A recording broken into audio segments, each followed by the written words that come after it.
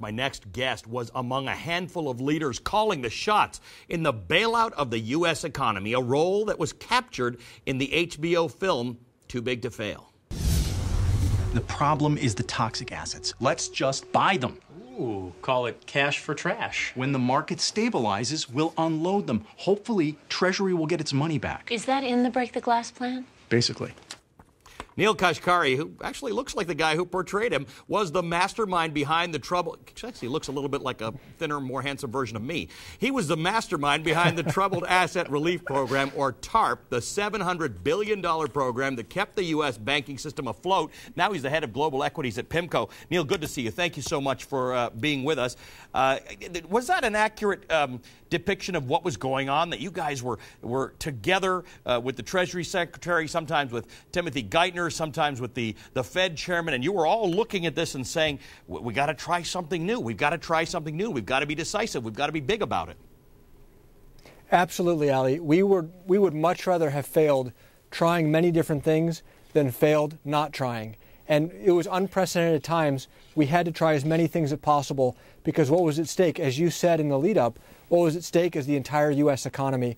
You're seeing a lot of policy experimentation still going on at the Fed and obviously still going on in Europe today. All right, but there's this fine line between policy experimentation and trying different things and sending a message to the global economy that you're on top of this, that you can do something that's really going to make a difference, that you're going to perform surgery rather than put another band aid on one of those thousand cuts. Europe's got this feeling of, of death by a thousand cuts. You're absolutely right. And it comes down to spreading losses. So go back to 2008. Our financial system had taken on too much debt. They had too much losses. They couldn't afford it. We, the Treasury and the Federal Reserve and the Congress, had to go in and take those losses from the banks and spread it out over the American taxpayers. It wasn't fair, but it was necessary. In Europe, it's a similar situation. Some countries, Greece, Ireland, Portugal, Spain, have taken on more debt than they can afford, and it needs to be spread out over the rest of Europe. But that's a real political challenge. How do you get the Germans to step up and say, yes, we want to pay off the Greeks' debt. That's very hard. We were able to do it in America because, as you said, we had one central government that could act on behalf of the whole country. They don't have that in Europe. Knowing everything you know and having been through everything you've been through, what should Europe do now? And the reason I ask that is because China is slowing down, because the U.S. is slowing down. We all need Europe to solve this problem. You're absolutely right. Unfortunately, it's taken two years to get this far. It is likely to take many more years to ultimately resolve the Eurozone because they're trying to do two things at the same time provide basic stability for the Eurozone and keep pressure on each of these governments to make painful choices. If they came in very aggressively and put out the fire once and for all, as we did with the TARP, all the pressure would be off Greece, Ireland, Portugal, Spain to make tough choices. And that's why the Germans and others don't want to do that. So they're left taking these bandages one at a time, barely providing stability but keeping pressure on. And that makes the crisis go on for many years, unfortunately. Neel, you've had to explain this probably to a million people, some of whom don't understand, maybe some who are kids who say, What is it you did? Explain to me, it's all about liquidity, right? It's all about taking money from somewhere, and at this point, this tends to be public money or tax money, and, and providing it through a system so that it can ultimately funnel its way through to businesses, people who will borrow it, use that credit, buy things, and create demand. Why is this so complicated? Isn't providing liquidity the same everywhere you go?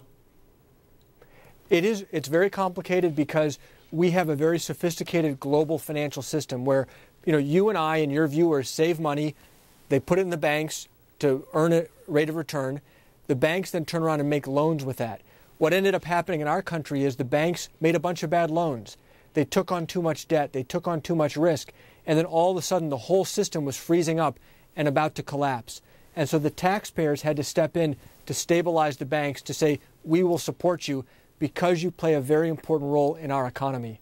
In Europe, you're having a similar situation with European banks, but you also have a situation where individual European countries have taken on too much debt and the countries need a bailout, not just the banks. So it's an even more complicated problem in Europe today. A year before TARP, which was in the fall of 2008, the American economy was firing on all cylinders. The Dow was at 14,000. It was an all time high. Home prices were still good.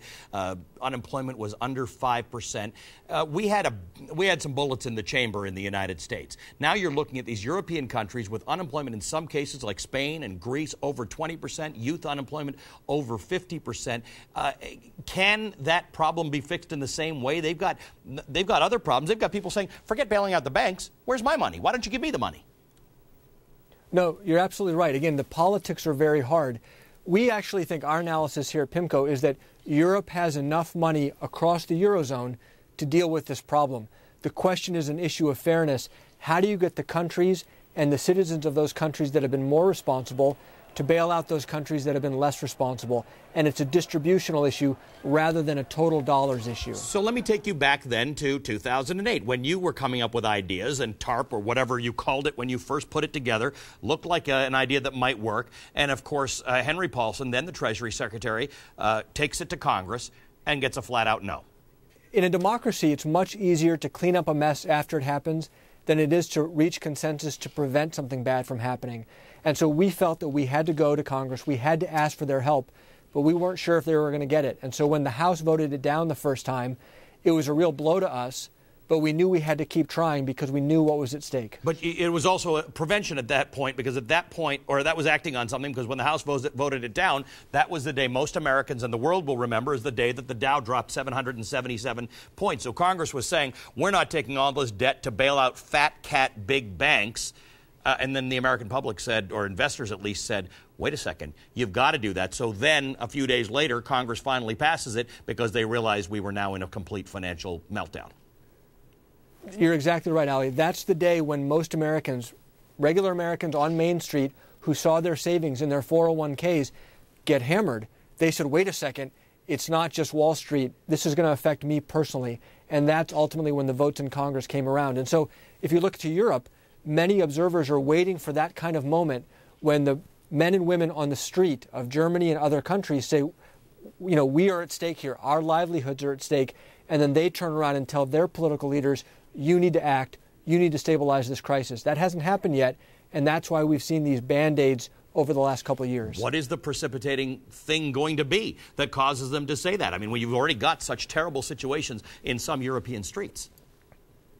Well, that's what's so frightening is can you have a precipitous event that's not so calamitous that it brings down the whole eurozone? Right. So you need a minor uh, precipitous event in effect. We think Greece is going to exit the Eurozone, notwithstanding their vote earlier this week. We think they will exit. We don't know exactly when.